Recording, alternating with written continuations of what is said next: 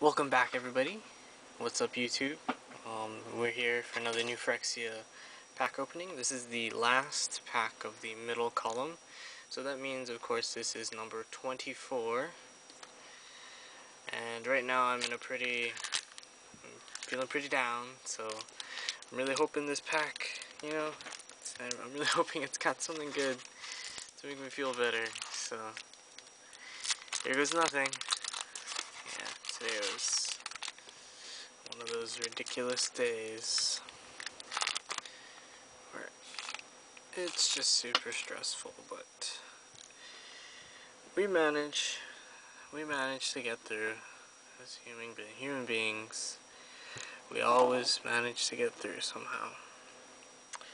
Okay, so we got a Psychic Barrier, Phyrexian Hulk, Viridian Harvest, Sensor Splicer, Flameborn Viron, Toxic Nim, Geth's Verdict, War Report, Pristine Talisman, oh, and the Uncommons, a Conversion Chamber.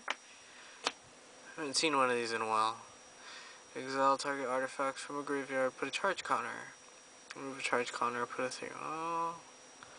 I guess if you're throwing away a bunch of, well, I mean not throwing away, but if you happen to have a whole bunch of artifacts in the in the graveyard, you can kind of slowly but surely turn them into golems. All right, uncommon number two. It's another artifact. Ooh, a Necropouncer. Very cool. I still have to try this out. Seems seems like it's a pretty good card. I, I don't know though. And the last one, it's green. Triumph of the Hordes. Alright, here it is. Big money. Hope I get something cool. Come on, something cool, something cool. Something cool. Oh, it's an artifact creature. Oh, it's a blue zero. is it? is it a Phyrexian Metamorph? It is. These guys are worth, uh, kind of a lot. I don't know. They're they're pretty nice. Um, one thing to note is they are kind of like clone, except they can also copy. Oh no, they're not clone. Um, I guess it's kind of like Phantasmal Image.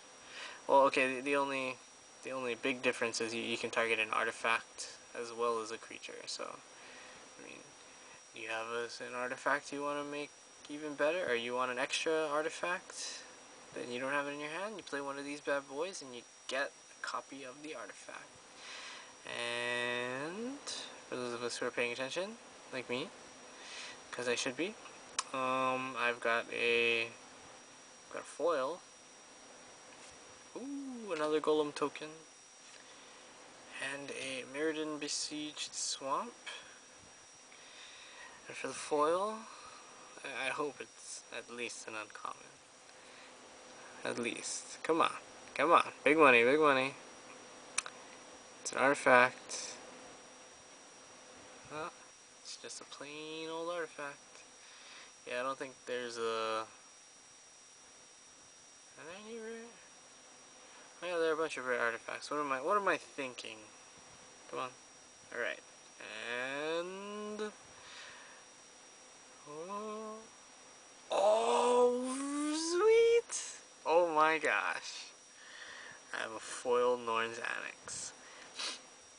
Oh my goodness. Okay, this totally made my day so much better.